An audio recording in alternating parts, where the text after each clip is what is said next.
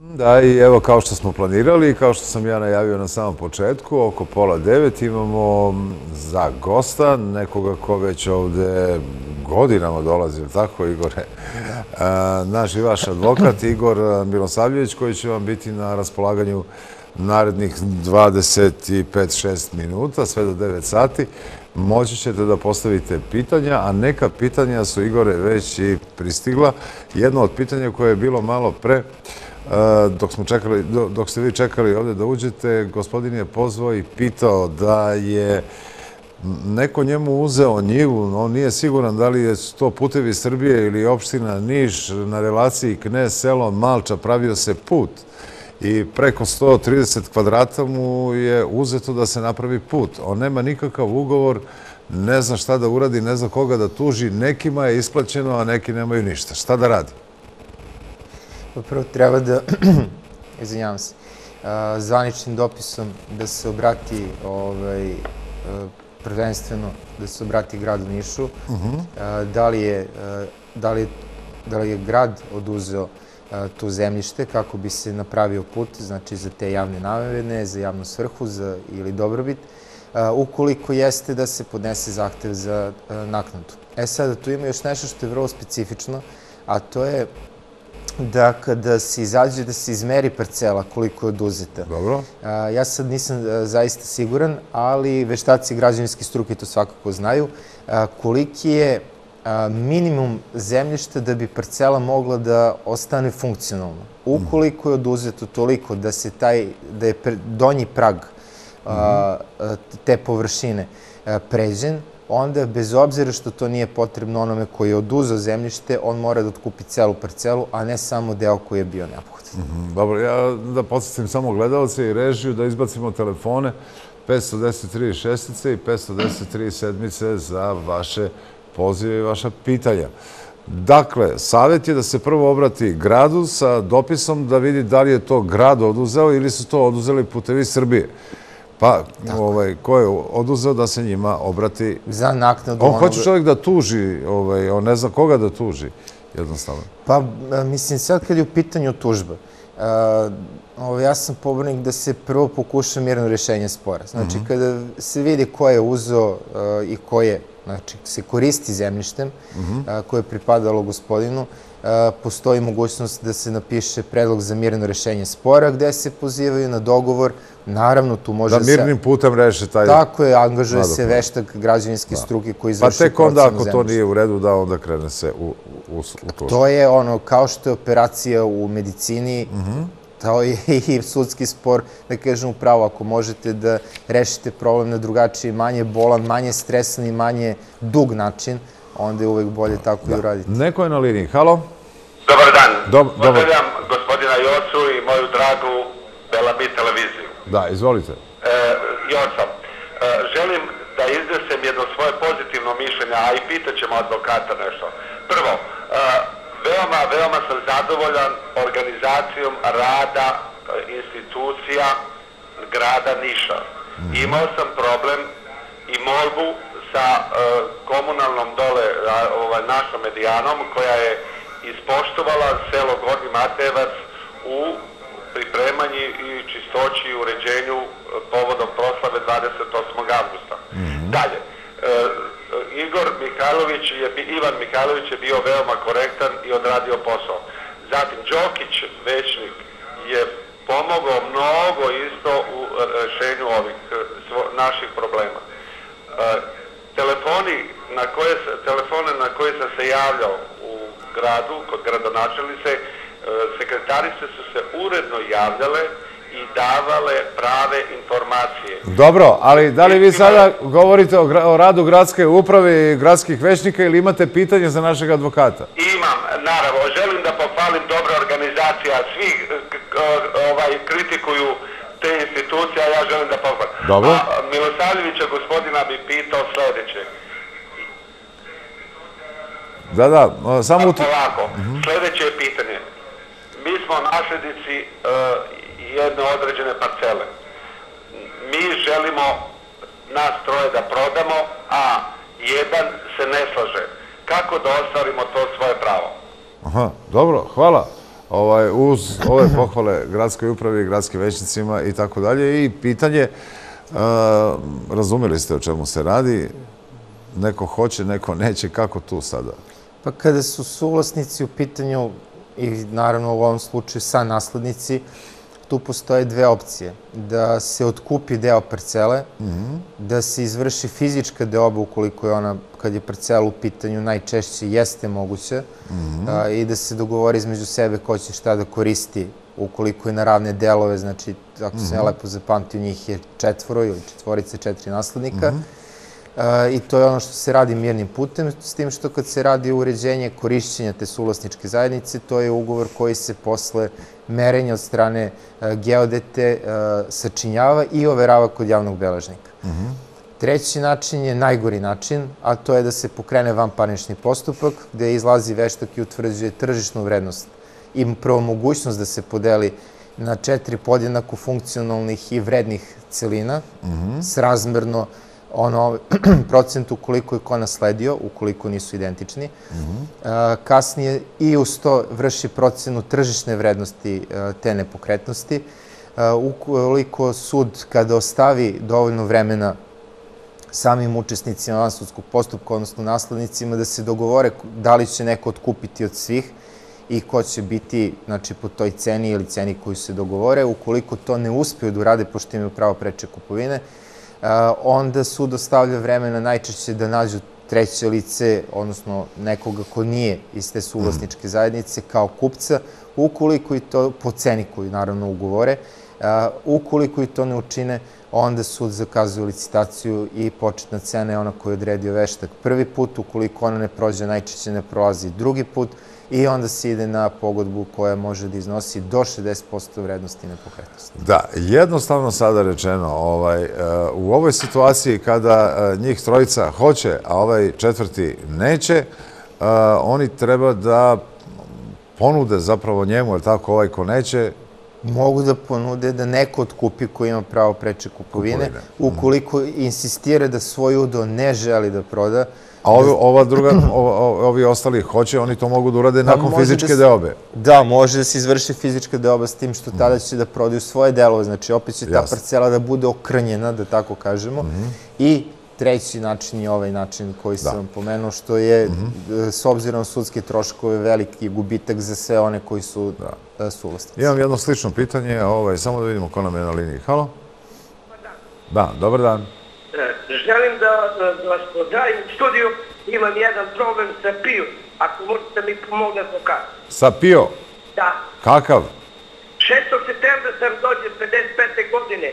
Predao sam 6. septembra u Nišu 2020. godine. Odgovorili su mi sa punim radom stažom, 50 godina i starosti 65. Oni su meni odgovorili da su predali u Beograd.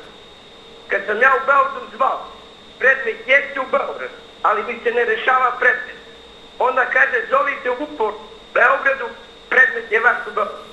Ja zovem, evo, godinu dana, je sad druga godina, nikakav odgovor nema. Dakle, vi ste, dakle, vi ste podneli zahtev PIO za penziju, tako? A, jeste u Nišu. U Nišu i nikako nemate odgovor, rešenje da li ste u penziji ili niste. Dobio sam iz Niški pio da je poslat predmet za Beograd. Ali iz Beograda nema odgovor. Iz Beograda sam dobio e, dokumentaciju gde se nalazi moj predmet i kod koje gospode.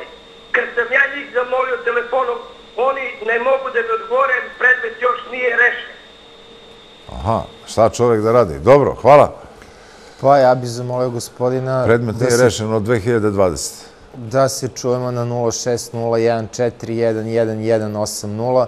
a, da Treba vam malo do- više detalja oko toga. Tako je, da se dogovorimo o terminu kada sa tim papirom može doći do kancelarije koju koristi pravni centar Niš i da vidimo šta može da se uradi. Ajde da ponovimo 060-14-11-80.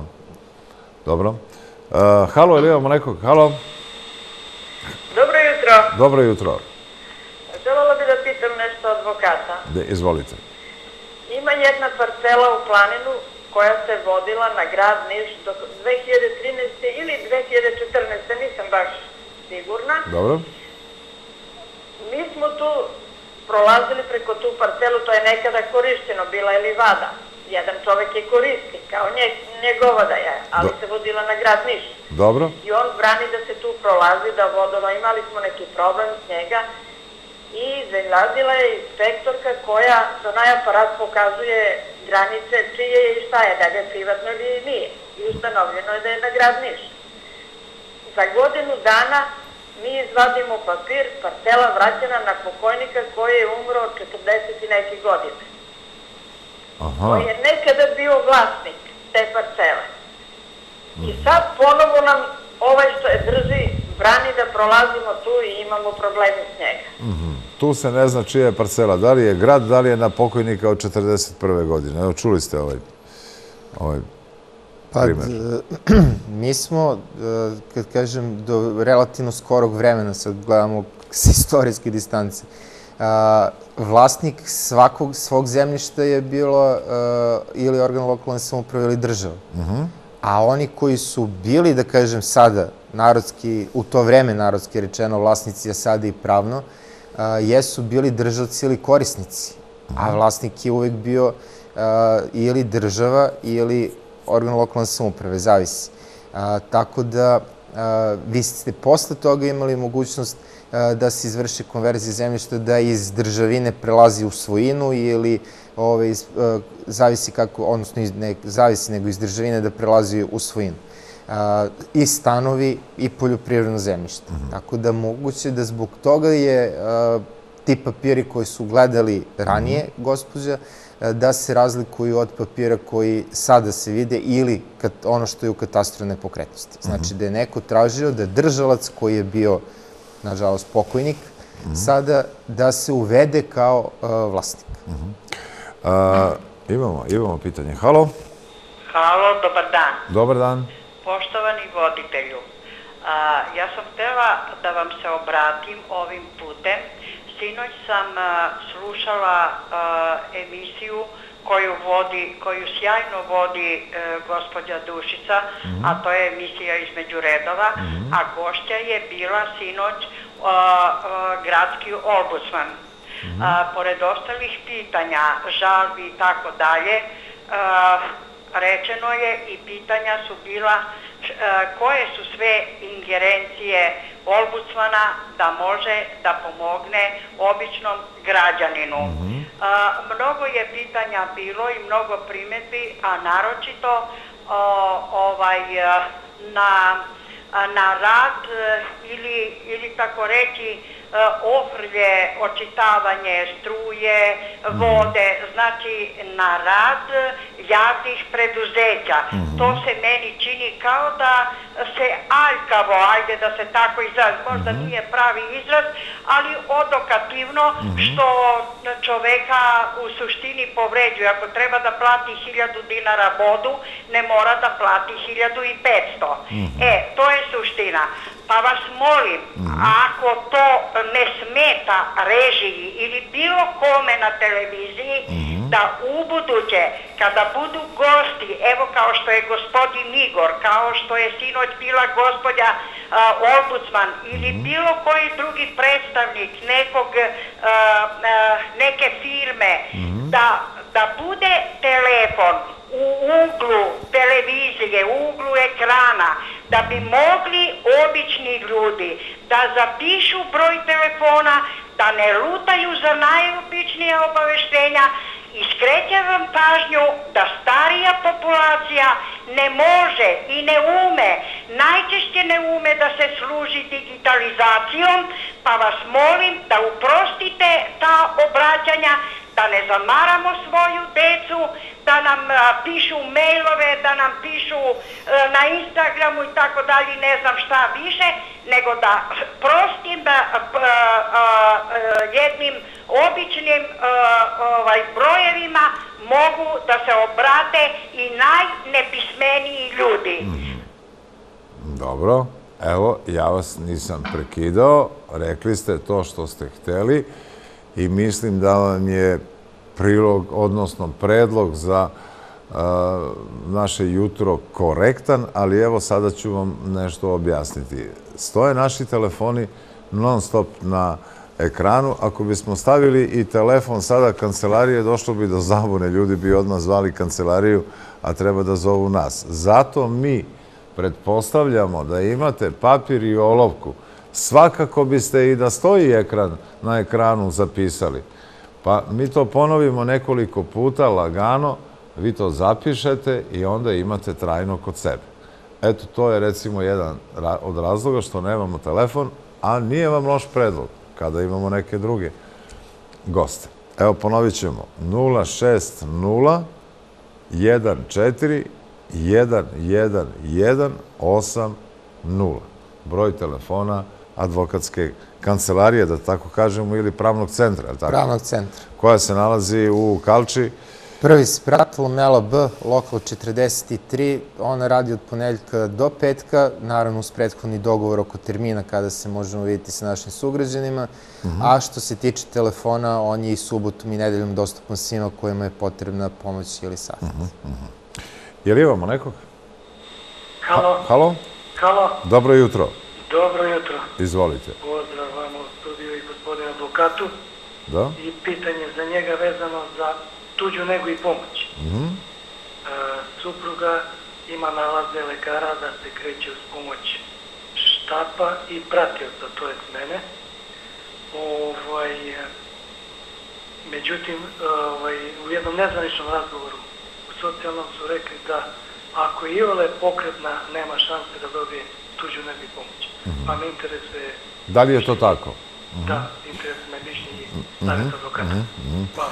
A, dobro, ovo je pre za mišljenje lekara, ali šta vi sa pravne strane kažete? Dolazili ljudi, nažalost, često se obraćaju kada dobiju negativno rešenje po, po zahtevu za odobravanje a, tuđe negi pomoći.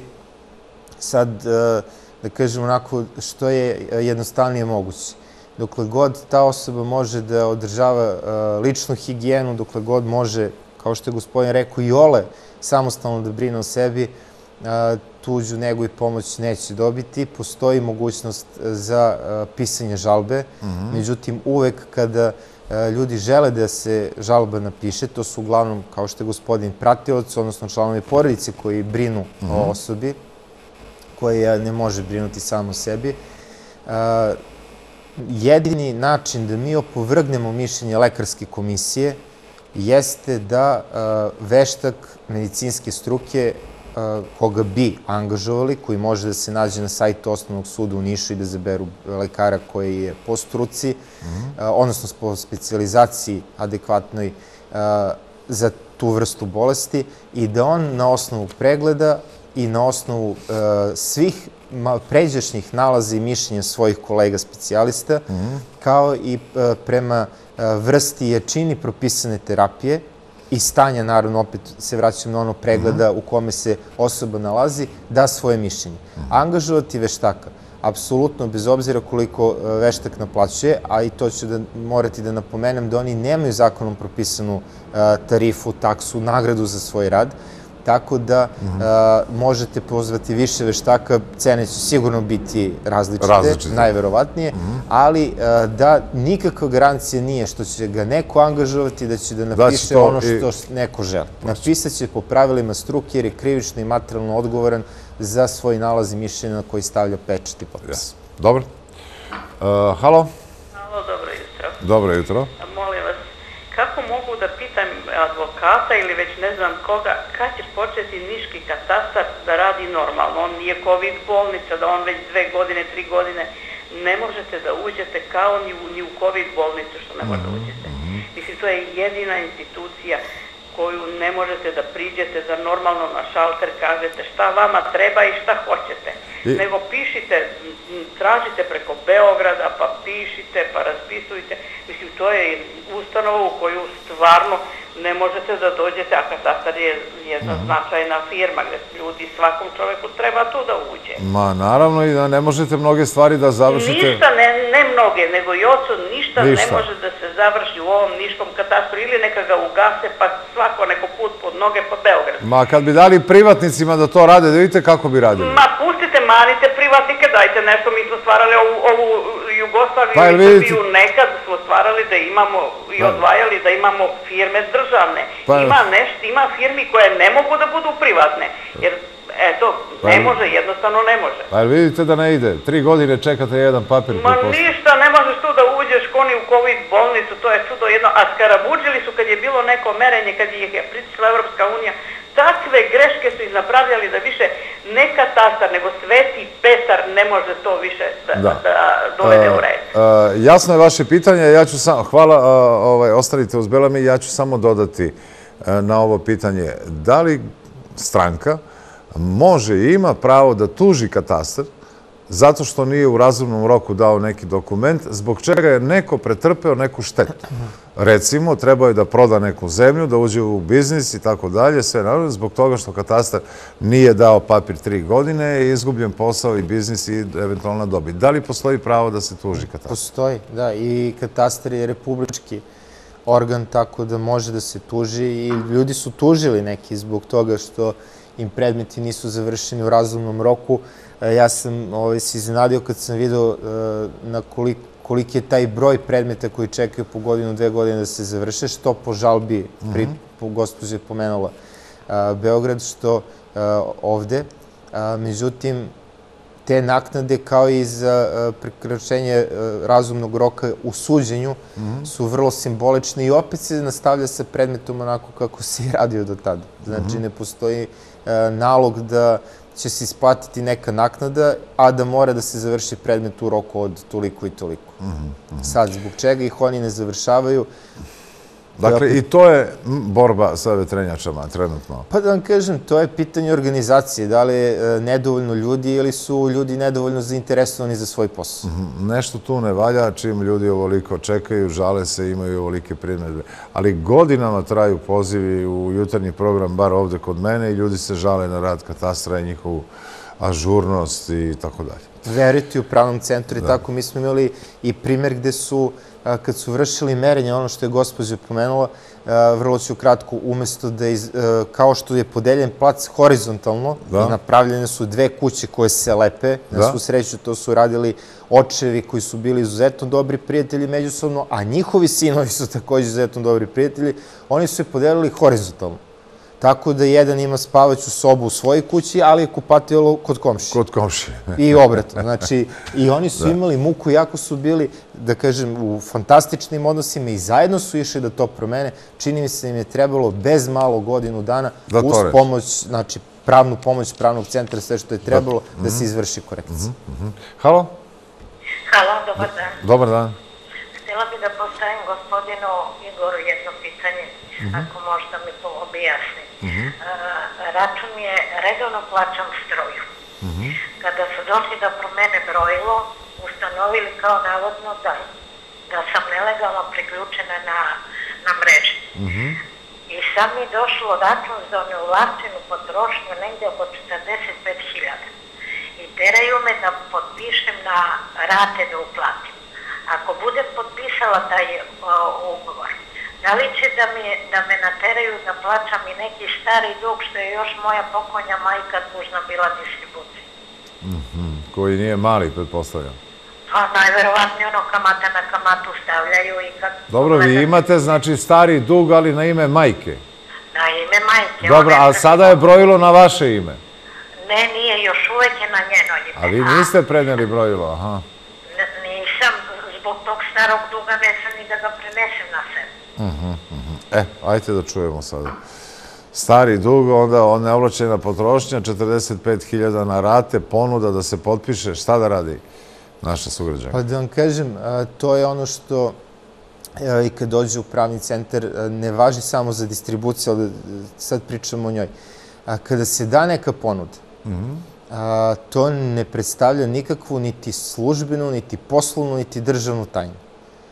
I svako bi normalno a, mogo ne samo da zahteva, nego i da dobije primerak te ponude, znači blanko primerak, koji može da odnese a, do kuće da se posavetuje sa svojim ukućanima, sa svojom porodicom, jer to će biti finansijski teret i breme ne samo za gospođu, nego i za članove njene porodice. A, da se posavetuje ili konsultuje sa pravnikom, sa advokatom, sa a, licem koji će neke nejasnoće... Da ne upadne u još veći problem, da onda je. kaže, e, sad ste potpisali, a sad mora platiti milion i po dinara Tako je. zbog tamo nekog duga i tako dalje. Dakle, e, imaju pravo naši građani da traže predlog ugovora o otplati na uvid, je li tako? Jednostavno da insistiraju da vide šta je to, da kažu hoćemo s nekim da se posavetujemo ili da neko dođe da vidi šta konkretno neki član koji Mhm. nekome nije jasan ka, šta to u praksi znači, šta će to u praksi proizvesti, kakve pravne posledice, da a, može Mhm. I da šta je sada vaš predlog o- ovoj gospođi da ne potpisuje dok ne vidi šta Da ode i da ih zamoli za primjerak toga što bi trebalo da potpiše da bi se konsultovala kako sa porodicom, tako sa prvenstveno... advokatom ili pravnikom i tako dalje. Mhm. Tako je sa a, onim ko može da je objasni a, konkretne posledice životne onoga što je na papiru napisano. Dobro. E, Ajde, još jedno i poslednje uključenje. Evo, vremena nam je polako isteklo. Ja isto imam još jedno pitanje. Halo? Alo, Do- jutro, dobar dan, izvolite. dobar dan. Ja sam prodala kuću, ja sam prodala kuću pre tri godine. Dobro. I sad idem u katastar, molim, dvorim, nikako neće da mi ta, dam taj posjedovani list. Stoje, pred katastar sam bila, stoje dve žene i pričaju. O, jedna dala 500 evra, ovo, da je završe, jedna dala, ovaj, mnogo je korupiran katastar. Šta da radimo? Ja sam namerna da odem u miliciju, da uzmem pare, da mi zapiše broj, rekli su mi koji najviše to radi, Aha. i da prijavim u miliciju dve godine, jure me ovi ljudi da prenesem. Ja sam bolesna, ne mogu, još mi nisu ni ucrtali tamo u katastar neka greška napravena. I sad šta da radim, pitam pravnika, najkorumpiran je ono katastar. Dobro, ovaj, vi ste već smislili kako da rešite taj problem sa obeleženim parama, neko vam je to rekao, pa i znate i ko to najviše prima i tako dalje. Dobro, ovaj, ljudi pomisle kad je tako slab rad katastra da tu postoji mito i korupcija, naravno. Ovaj, ko ima pare plati, pa to brže bude završeno, ali mislim da nije to baš tako. Sada kompjuteri u katastru rade sve. Pa e, dešavalo se, zaista, ja sam juče imao primer da je odbijen upis u katastar zato što je doneta e, dokumentacija koja je podneta uz zahtev su bile neoverene fotokopije. Znači najobičnije, a insistira se na originalima ili overenim fotokopijama onih dokumenta koje su tražili. To je bio razlog. Znači vrlo objektivan razlog i u nekom e, razumnom roku je doneto i to rešenje. A, E sada što se tiče ovoga, a, opet bih ja zamolio gospođu, jer ona je sad pomenula da ona ne može da se upiše u katastar. Prvo, u ogromnom broju slučajeva, naravno ne mogu da kažem za sve, kada se pišu ugovori, unosi se a, klauzulu intabulanti što podrazumeva da kupac može bez prisustva, naknadne saglasnosti a, prodavca da se uknjiži u zemljišnim i drugim javnim knjigama. Što znači da upravo, e, to se, opet ne mogu da kažem da baš to svako unese, ali ja mislim u 99% ugovora o prodaji nepokretnosti, koja god to nepokretnost bila, stoji klauzula i da kupac sam može da kasnije završi ovaj, to sa katastrom. A, Poreska uprava je nešto drugo, prodavac bi trebao da se odjavi kao poreski obveznik, kupac da se prijavi kao poreski obveznik i o tome ljudi trebali računati kada je u pitanju prometne pokretnosti, mada sad to šalju javni beležnici. Najbolje je bilo da gospođa, ako je u mogućnosti, e, pozove na 060 14 111 80, da se čujemo i da vidimo šta je e, problem uopšte, da li ta nepokretnost ima neki objektivan problem što se tiče katastra, a posjedovne listove samo, i to da napomenem, od 1. januara prošle godine, 2020. a, može da svako izvadi i kod javnog beležnika, u Nišu ih je pet, a, u katastru to košta, čini mi se, 1200 i nešto dinara, kad se skupe taksa i naknada za rad. Kod javnog beležnika košta 500 i kusur dinara, s tim što kod javnog beležnika ne morate ideti u poštu i banku da čekate red, plaćate na licu odmah. mesta i dobijete Dobro, dakle, fiskalni evo i račun. to je dobar savjet za one I ne koji treba čekate da... nikakve redove, niti zakazujete preko call centra u Beogradu. Mm, Da, i samo jedno kratko ovaj, pitanje i od, takav odgovor očekujem. Postoje naslednici jednog placa, dve sestre preminule, postoje naslednici ovaj, rodbina od sestara. kada je ostavljena ta njiva, nije precizno rečeno kojoj sestri koji deo pripada. Kako sada da naslednici znaju koji je deo, da li je istočni, zapadni deo te parcele, ovaj, a nigde nije precizirano u papirima o nasledstvu? Sednu, dogovore se, pozovu geodetu, izmeri, napravi se ugovor o uređenju korišćenja te suvlasničke zajednice parcela, overi se kod javnog beležnika, kasnije mogu na kontu toga da traže cepanje parcela i da se naprave tri zasebne, ili će na kontu tog ugovora znati čije je koja, e, čiji je koji deo, ja se izvinjavam, sa Mhm. granicama istog, zapad, sever, jug. Hvala. Vidimo Hvala se za sedam dana, je li tako? Da. Dobro, 9 sati i skoro 5 minuta, tada nam idu redovne reklame, ide još jedna muzička numera, a mi očekujemo da nam se u studiju 1 televizije Bela Mi pojavi gošća sa kojim ćemo razgovarati o fizioterapeutima. Danas je inače Svetski dan fizioterapeuta. Mm, Da, evo, ja sam najavio i upravo se to i dešava, da će gošća u studiju 1 televizije Bela Mi biti Jasminka Stojadinović, glavni fizioterapeut instituta Radon. Dobro jutro, dobrodošli i srećan vam dan. Dobro jutro, hvala vam. Ja bih prvo iskoristila priliku, pošto je danas ovaj Međunarodni dan fizioterapeuta, da svojim kolegama širom sveta čestitam ovaj praznik, da im poželim puno profesionalnih uspeha i naravno porodične i lične sreće. Ako se pitamo zašto se baš danas slavi ovaj dan, zašto na ovaj dan? Zato što je tačno pre 70 godina, 8. septembra, prvi put osnovana Svetska konfederacija za fizikalnu terapiju. Kasnije je ona promenila naziv u Svetsku fizioterapiju, ali su ciljevi ove organizacije ostali isti, a to je promocija e, našeg posla, odnosno da se ukaže na značaj fizioterapeuta u prevenciji, lečenju i rehabilitaciji, zatim da se ukaže na značaj redovne fizičke aktivnosti u očuvanju zdravlja, odnosno u poboljšanju kvaliteta života i naravno zastupanje profesije pred zakonodavcima i ministarstvima kako bi položaj fizioterapeuta bio što bolji u zdravstvenom sistemu. Znači, mi danas slavimo 70 godina od prvog obeležavanja ovog Međunarodnog dana fizioterapeuta. Da, ali e, evo, ajte da, što vi rekao ste malo pre, mnogi ne znaju šta mi konkretno baš sve radimo i zašto smo sve zaduženi i o čemu brinemo i tako dalje.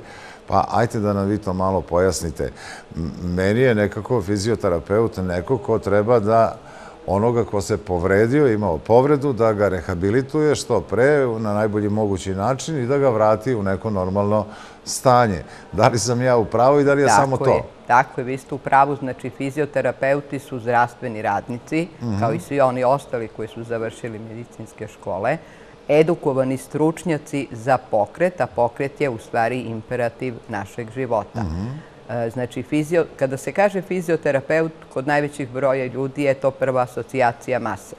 Mi Da. nismo samo maseri. Naravno, jedna od delatnosti našeg posla jeste manuelna masaža, ali mi e, radimo mnogo više od toga. Znači, mi imamo veliku ulogu i veoma smo važna karika u tom lancu rehabilitacije. Znači, ako dođe do neke povrede, naravno mi ne osporavamo rad ni lekara koji recimo uradi operaciju ako je neka povreda na koštano-zglobnom sistemu, znači svih medicinskih sestara koji rade u operacijnim salama, koje nakon toga e, bolesnika neguju u, na odeljenjima intenzivne nege, ali na kraju on ipak dođe kod nas. Znači, nije dovoljno e, da se samo lekovima to postoperativno stanje reguliše onako kako treba i mi dođemo na kraju te rehabilitacije, odnosno ja volim da kažem kao ona jagodica na vrhu šlaga za tortu, jer e, ako se pacijent oporavi posle te operacije, a ne može još uvek da ustane iz kreveta i ne može da hoda, znači da mi ipak imamo veoma važnu ulogu. I ta rehabilitacija, odnosno kineziterapija ima najvažniju ulogu u rehabilitaciji, a to je terapija pokretom. Znači, mi smo zaduženi da tog bolesnika podignemo iz kreveta i sa tim počinjemo malte ne nultog dana nakon operacije, e, da mu pomognemo da, da hoda. Znači, prvog dana, recimo, on ustaje, sedi u krevetu, pa zatim stoji pored kreveta i kreće sa hodom. Obično je to e, hod sa pomagalima u početku. Znači, zadatak fizioterapeuta je da ga prvo obuči hodu sa štakama, šetalicom, štapom, kasnije da ga nauči normalnom hodu, jer šema hoda se vrlo brzo gubi. Ako čovek leži i dva, tri dana, izgubi se šema hoda i fizioterapeut ima zadatak da ga nauči tom pravilnom hodu. Znači, mi smo zaduženi za pokret, odnosno, osim toga, da ojačamo mišiće kod tog bolesnika, da smanjimo bol, da smanjimo spazam, da, da ga vratimo u stvari jednom normalnom načinu života. I, nažalost, e, e, recimo, znači, svi rehabilitacioni centri naravno da imaju terapeute. Potrebno je da terapeuti budu prisutni i u svim sportskim klubovima, u teretanama, što, nažalost, nije slučaj. Teo sam da vas pitam, raspon godina pacijenata nemate? Fizioterapeuti su u životu jednog čoveka prisutni od rođenja pa do kraja života. Znači, od samog rođenja već sa bebicom treba da krene, da se rade neke lagane vežbice, naravno do tri meseca, to su neke blage masažice i vežbe za ruke i za noge, pa zatim počinjemo sa vežbama za e, trbušnu muskulaturu, za lednu muskulaturu, zatim u obdaništima takođe vaspitači, ja imam iskustva, moje deca su išli u obdaništi i zadovoljan se s tim, znači oni kroz igru treba da, da razvijaju pravilno držanje tela, mišiće kod te dece i ovo, pa zatim školski uzrast i naravno posle kasnije, kad oni kasnije sami počnu da se bave nekim sportom koji izaberu. Znači, fizička aktivnost mora da bude prisutna svakodnevno kod, kod svakog od nas, makar pola sata dnevno. A to možemo da postignemo i time što nećemo, recimo, kolima doći do samog radnog mesta, nego ih ostavimo malo dalje, prošetamo, što naravno opet... Sve je manje takvih koji sve je više, nažalost, automobila gde se po jedna osoba, gde se po jedna osoba ovaj, vozi. Kaže da je definicija života i to dok se nešto kreće, smatra se da je živo. Ovaj, da li ste značaj tim fizičkim aktivnostima svakodnevnim, da kažemo, bez obzira na uzrast i godina starosti, Ajde da za ove malo starije, oni su uglavnom populacija koja i gleda ovaj jutarnji program, kakve savete možete njima da date? To su ljudi koje malo bole kolena, malo bole zglobovi, malo bole, imaju reumu i tako dalje. Ovaj, pa i za njih isto pravilo važi, obavezna fizička aktivnost. Naravno, naravno. Oni bi e, ujutru kad ustanu, pošto većina nas posegne za do šporeta, uključi dugme, stavi da kuva kafu i naravno onda je to uz prvu jutarnju kafu i cigareta, što je sasvim pogrešno. Znači, e, svakog jutra bi trebali kad ustanu prvo da odrade par vežbica, da kažem da se razgibaju, da uđu u jedan normalan ovaj način života. Čak i onda kad osjećaju bolove, treba da rade vežbe. Mislim, pogrešno i to kod nas, mene sve boli, ne mogu ništa. Znači, kao što postoji izreka da ne postoji čovek koji može sve sam da uradi, tako ne postoji, nemoguće i da bolestan čovek ne može ništa. Znači, par jutarnjih vežbica, šetnja, da bi se započeo pravilan ovaj dan. I kad pacijenti dođu kod nas, zadatak fizioterapeuta i jeste da ih motivišemo, ne samo dok su kod nas, da, da mhm. budu aktivni, da zajedno sa nama učestvuju u toj rehabilitaciji, već da naučene vežbe sprovode i u kućnim uslovima. Mhm. Znači, kad pacijent dođe, recimo, kod nas, on naravno dođe sa propisanom terapijom od strane naših lekara, fizijatara, mhm. ali ukoliko zahteva dijagnoza, te naše pacijente pogledaju i ostale specijaliste, da li se radi o e, kardiologu, ortopedu, zavisno od same dijagnoze. Onda pacijent dolazi kod nas i sad e, fizioterapeut mora u prvu ruku da bude i psihoterapeut. Iz mhm. prvog razgovora sa pacijentom, u smislu da li ako je rađena recimo neka operacija, da li je pre operacije imao neke simptome ili je mhm. operacija rađena nakon posle povrede, onda eh, da li je pre nas bio negde na rehabilitaciji ili mu je prva rehabilitacija. Eh, fizioterapeut radi razne vrste antropometrijskih merenja, odnosno meri recimo dužinu i obim ekstremiteta, mhm. obim pokreta, radi manuelni mišićni test i na osnovu svega toga fizioterapeut pravi jednu funkcionalnu dijagnozu Mhm, i pravi plan i program lečenja za svakog pacijenta po osob, odnosno ako se radi o kineziterapiji, iz kog početnog položaja će on krenuti sa vežbama, koliko će te vežbe da traju, koliki će broj ponavljanja vežbi biti i kolika će pauza biti između. Znači, da bi sve to terapeut mogao sam da napravi taj plan i program, on mora da poznaje medicinu vrlo dobro, odnosno u prvom redu anatomiju, fiziologiju, odnosno i svaki taj pokret koji da kod pacijenta, on mora da zna indikacije i kontraindikacije za svaki pokret, jer postoje neka oboljenja gde neke pokrete naravno ne smemo da izvodimo ili ih izvodimo do granice bola. Znači mora da, da bude obučen za to i pri tom prvom razgovoru sa pacijentom terapeut treba da odredi vežbe koje će pacijent da prihvati, znači zavisno od slučaja do slučaja, od starosne granice, od toga iz kakve sredine pacijent dolazi. Znači da njemu bude prijatno dok mi radimo sa njim, da te vežbe i e, radi sa lakoćom. Naravno, dešava se nekad da su e, pacijenti nemotivisani, da su u depresiji, ali je terapeut taj koji mora da se potrudi da e, pacijent sarađuje sa nama dok mi radimo sa njim. Dugo ste u ovom poslu, je tako? Ovaj, Pa pre neki dan je bilo punih 40 godina. Da, i I od početka radim u Institutu Niška banja i m, što se, ajde da kažem, tog položaja našeg, e, mi terapeuti smo izuzetno zadovoljni e, u tom sistemu što se tiče naše ustanove, jer svi prepoznaju naš rad, cene nas, e, vide da mi imamo veoma važnu ulogu i mi smo zadovoljni što se e, toga kako se snalazite sad u ovo vreme COVID-a? Kako radite? Promenili ste režim Sad rada? trenutno radimo, da kažem, u normalnim uslovima. E, Naravno, kapacitet za ambulantne pacijente je veoma smanjen, jer su ranije ambulantni pacijenti mogli da dolaze u sva tri stacionara.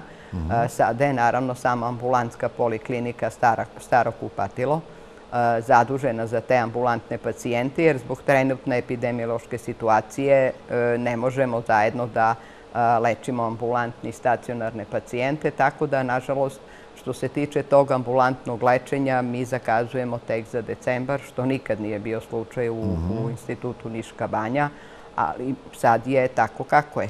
I naravno i ovaj dan nismo mogli zbog trenutne epidemiološke E, to se to da situacije. uzimam. Kako ćete obeležiti Da, današnji dan? Da, da obeležimo. planirano? E, obično je to bio javni čas vežbanja, bio je prisutn, bili su prisutni svi radnici našeg instituta, e, deca iz osnovne škole Ivan Goran Kovačić, iz srednje medicinske škole dr. Milenko Hačić, iz škole Mode i lepote, jer pohađaju pre- profesionalnu praksu u našem institutu. A ove godine smo odlučili da ne bude tog javnog časa vežbanja, već da ovako kroz gostovanja ukažemo na značaj i ulogu fizioterapeuta. Naravno, to je bio predlog naše direktorice, profesor dr. Marine Deljanin-Ilić, da ipak nekako istaknemo značaj i ulogu fizioterapeuta kroz ova gostovanja. E, hvala vam što ste došli na današnji dan. Evo, mislim da smo ovaj, dosta toga rekli, ima dosta toga još da kažem, ali neće ovo biti i poslednje gostovanje. Mi ćemo napraviti jednu lepu saradnju sa institutom e, i sa ostalim vašim osobljem. Čestitajte im u naše ime.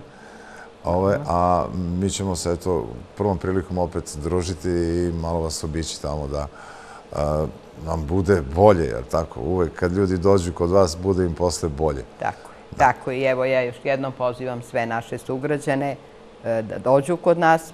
Želim da dođu u cilju prevencije, ne radi lečenja ili rehabilitacije i da se uvere da se u Niškoj banji brišu granice između lečenja i uživanja.